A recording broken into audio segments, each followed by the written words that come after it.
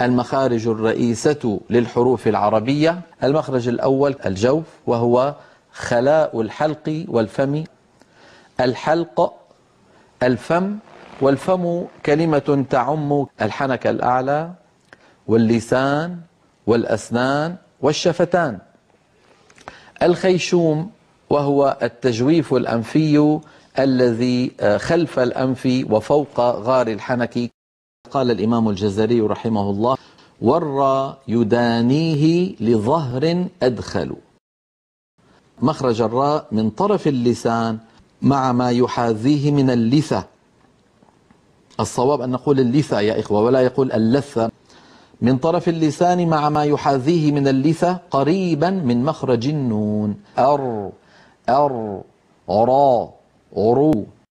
لما ينطق الواحد منا حرف الراء عندنا ثلاث احتمالات. الاحتمال الأول أن يكون بعيدا زيادة عن اللزوم عن غار الحنك. فيقول مثلا آه الرحمن الرحيم. فإذا كان اللسان بعيدا أكثر من اللازم سوف يخرج صوت فموي عائم.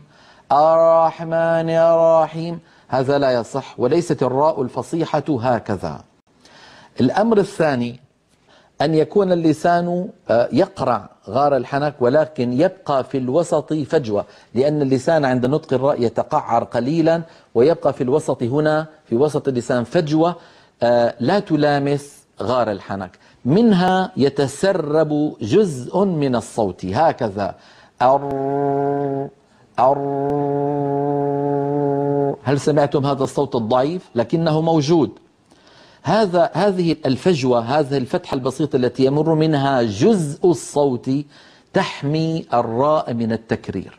ولكن المخرج صار ضيقا. لذلك نجد في اللسان ارتجاف قليل. فنجد اللسان فيه ارتجاف. هذه صفة اسمها صفة التكرار. ستأتي معنا بإذن الله تعالى في صفات الحروف. إذا الوضع الصحيح للسان كما رأينا في اللوحة أن نقول أر هذا معنى قول ابن الجزري رحمه الله ور يدانيه لظهر أدخل. الوضع الثالث أن يحكم الإنسان إلصاق طرف لسانه على غار الحنك إحكاما كاملا بحيث يقفل المخرج. هذا أمر لا يصح لأنه يؤدي إلى انقفال تام للمخرج. فمن أين يمر الصوت؟ فيضغط الهواء الخارج يضغط على اللسان ويجبره إجبارا أن يبتعد عن مخرج الراء فيبتعد. فلما يبتعد يخرج الصوت ويخف الضغط خلف اللسان فيعود اللسان ويقفل فينشأ ضغط جديد ويجبر اللسان على النزول. وهكذا تجد اللسان مرة في حالة انقفال ومرة في حالة انفتاح ويؤدي إلى ظهور أكثر من راء الرحمن الرحيم. الر وهذا هو التكرير المنهي عنه ولا يصح أبدا لأنه يولد راءات عديدة وكم نهى العلماء والقراء والأئمة عن هذا في كتبهم. فلننتبه إلى هذا الأمر.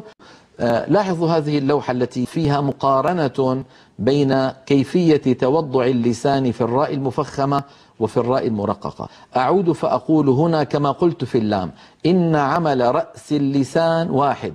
عمل رأس اللسان واحد في الراء المفخمة والراء المرققة. الراء الري الراء الري ولكن الفرق في توضع اللسان في جزئه الخلفي.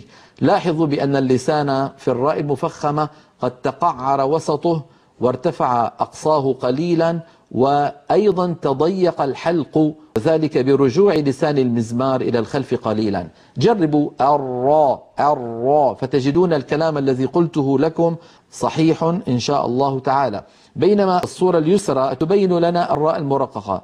الري ال ال. نجد بأن اللسان لم يتقعر الحلق لم يتضيق كما حدث في الراء فخمة فلننتبه إلى هذا الأمر.